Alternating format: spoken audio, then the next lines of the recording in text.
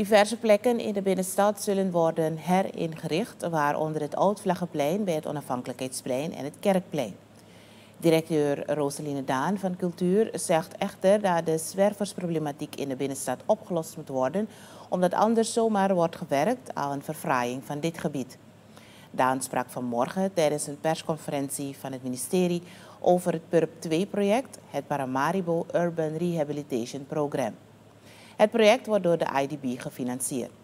Volgens Daan wordt gezocht naar oplossingsmodellen voor het zwerversprobleem. We kunnen het hebben over verfraaiing, het renoveren van panden, maar als dat deel niet goed wordt opgelost, zullen we op termijn toch weer te maken krijgen met uh, landlopers die zorgen voor vernielingen. En dat is niet wat wij willen hebben. Binnen het PURP 2-project zal het gebouw 1790 in Fort Zeelandia, dat als een ruïne erbij staat en als een parkeerruimte wordt gebruikt, volledig worden gerenoveerd. Het ligt in de bedoeling dat op die plek een museum komt te staan. Minister Henry Ori zei dat dit museum een nationaal karakter zal hebben.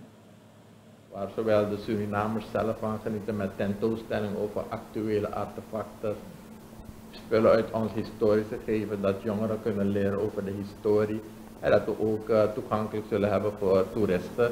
Dat zal een heel mooi object worden, ook rond het kabinet van de president.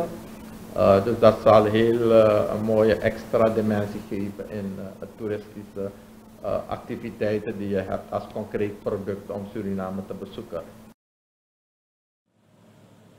De bewindsman merkt op dat het PURP 2-project een goed communicatieplan heeft.